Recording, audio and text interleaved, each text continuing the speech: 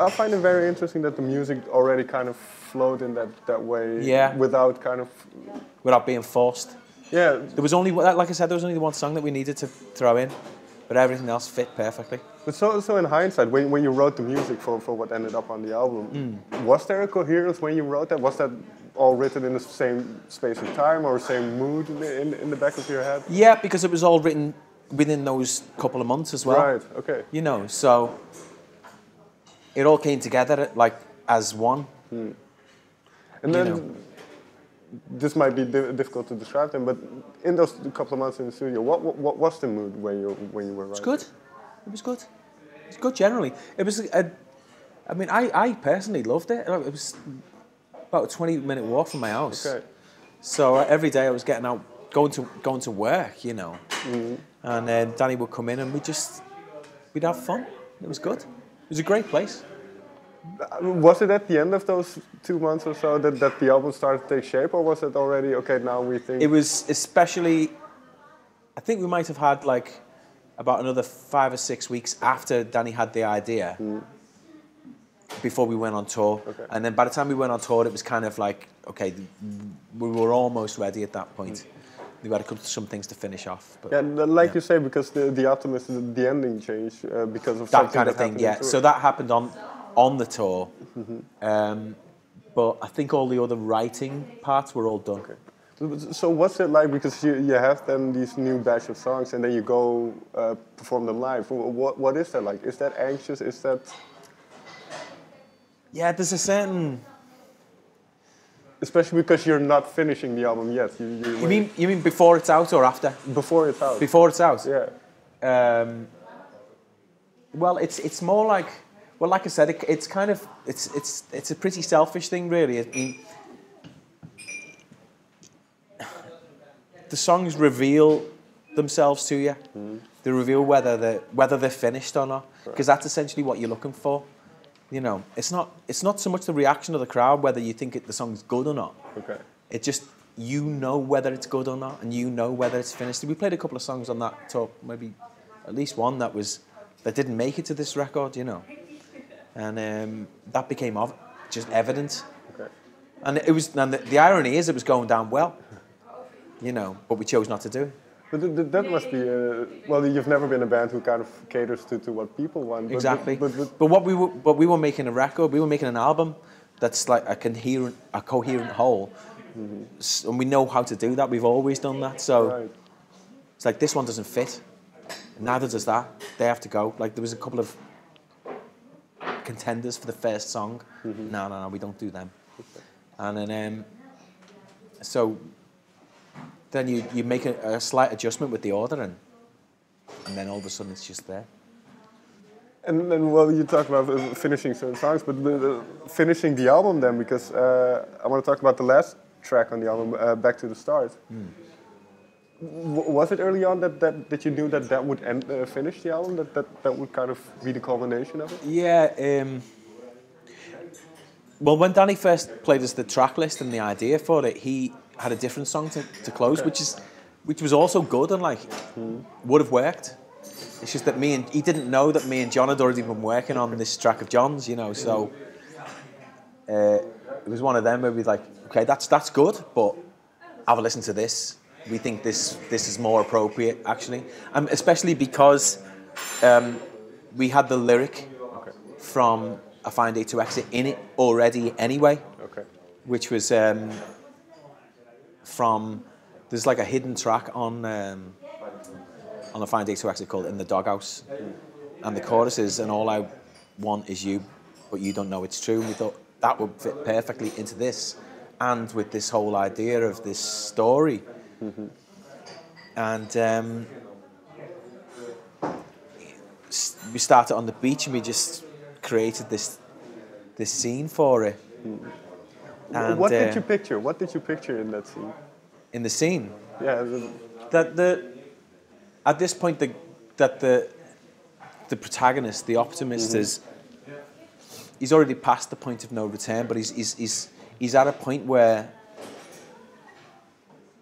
the worst has happened, and he's now finding himself um,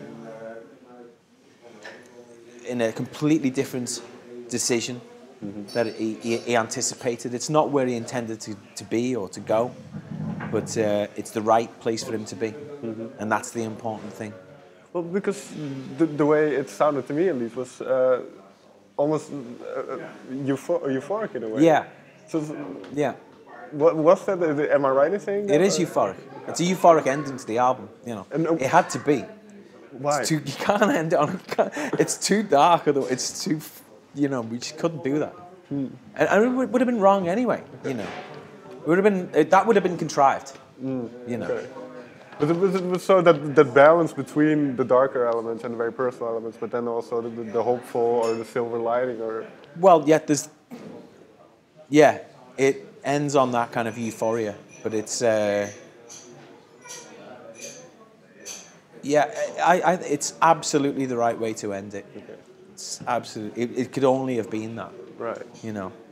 What I find interesting then, that when you maybe listen to the songs again, or even even now that you're starting to perform them live, are you is your memory connected to kind of when you wrote it, when you were in a happy It mood? will or- always be. Oh, okay, so it's, it's not that that you think of the kind of No, the because the, like the way we wrote this one and the way we came kind of work together with Danny and John, um, that will always stay with me. That will that will be like something I'll always remember, and that Danny will always remember. Like especially Danny's mentioned that to me quite a few times. It's a really special moment in our lives. Like, so even years down the line, we'll always remember that. You know. And as uh, Danny told you why he thought it was such a, uh productive, uh, enjoyable Well, thing? it's yeah. I mean, it's it's they were like magic times, you know. But then, uh, again, then the the, uh, the kind of you being It's lots of reasons. and- It's lots of reasons. Okay. You know. You get up every day and you have somewhere to go, and it's really cool what you're doing, Mm-hmm. and you're hanging around with the best people in the world, your your your, your brothers and your best mates, and you're doing something really good with them. Mm-hmm. Doesn't get much better than that, you know. So, so now with the thought of playing live, then um, has the album changed since since it was kind of finished? Musically, Yeah. There might be some slight adjustments here or there, but not a lot. I don't think. I mean, some of them will be interpreted live in a different way, slightly, but it's it's kind of done. You know. Because well, what you mentioned, there is a certain narrative to uh, to it. So Yeah. so will that be difficult to convey honestly in a live setting? No. Not at all. It'll. The idea is to have a more. Uh, it, it's a visual story, so we'll have something that's going to carry that, mm, as well as the songs. Okay. because the, actually the album is a visual one like the, the so Travis has Travis has worked really really hard on this and Travis Smith the artist and the music itself is like a companion piece of this 40 page art book Okay. you know that goes on this whole journey Okay. it's full colored journey like of this this guy Okay. so it's told through that if you listen to the album and you look through it then you really start to get the picture of it um, and you can also come see us live, and it'll be told live as well in that way. And if you listen to it on a stream, like or on, on iTunes or whatever, you'll get it. You'll get you'll get quite a lot of it, but you won't get everything. You know, it is a visual album, like so. It's meant to be kind of absorbed visually as well as And obviously, with the, with the type of music that you've been making for years now, uh, almost, it is very atmospheric and very uh, cinematic in a way. So, so have you thought about kind of doing a, a proper film film Oh score? God, yeah, yeah, yeah. Um, that's to us. That's just that's inevitable. That's Okay. gonna happen. So, so what is it still depending on? Um, connections and Okay. things like that. We've we've we've already got material. We've already got music that we want to do. You know. Okay. So, yeah, we can. The the thing about soundtracks are it's there's a there's, there's similar sort of dynamic process to creating an album that you an, an hour's worth of music that you're meant to listen to from start to finish. That's got all the necessary peaks and troughs and Right. different atmospheres and you know Um, so yeah, and we also we also work a lot with like kind of sort of hypnotic themes that sort of come back now and again and uh, refrains that repeat in a different way and that kind of thing. We've always liked that stuff, so yeah, we could do it. So in this day and age, and, and you mentioned streaming services, and, and, and so with people, I, I assume not, not listening to music from start to finish all the Yeah. time anymore. So wha- is it, was this a thing in the back of your mind? No, it's just the way we've always done things, but it's um, um, we recognise that you know what it's people have the choice to listen to music in whatever way they want, you know. So um, we're always going to make artwork and visual records and like something with more to it than just like oh pick a track, you know, Right. stream it, you know that kind of thing. Um, so that's just the way we do things. So it works for us. Final question then: What is uh, one of your favorite soundtracks, or something that that inspires you in, in, in, in kind of the, the atmospheric elements of music? Funnily enough, actually, there's a record that Tony Doogan worked on, our, Okay. our producer for this record, um, the soundtrack for The Fountain. And you know what? I haven't even seen the film.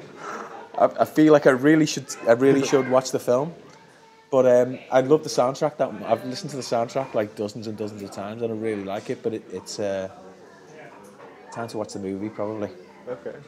Yeah, Tony Doogan uh, worked on that with uh, Mogwai Kronos Quartet, working with Clint Mansell's Clint, score. yeah. So it's really top notch. Like, All right. Vincent, thank you very much for your time. cheers.